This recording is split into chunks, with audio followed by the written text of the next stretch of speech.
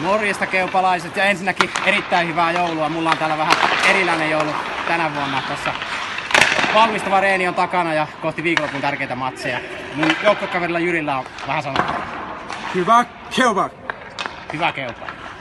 Eli ensi lauantaina 30.12. Keurulla kello 17. Keupalekiottelu. Meikäläinen saa kunnian pukea vielä kerran Keupan pelipaikan päälle. Nähdään siellä.